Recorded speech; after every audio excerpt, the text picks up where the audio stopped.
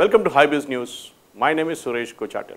Air India has taken a decision that will bring relief to thousands of Indians stranded in the United States. It has slashed the fares of the flight tickets booked under the Vande Bharat mission. As of July 1st, against a total number of 5,83,109 people who registered their request with the missions abroad for repatriation to India, over 4,75,000 have returned under this mission. The economy class fare for a New York New Delhi flight is 75,461 compared to more than 1,07,000 in the earlier phases.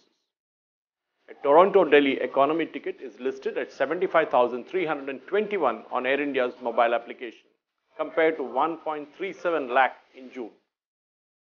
Air India has operated some of its most profitable flights to the US in the last two months. The airline has been filling outbound seats on Vande Bharat flights as well. Air India's application showed that almost all flights from Delhi to the destinations in the US are sold out. Thank you for watching.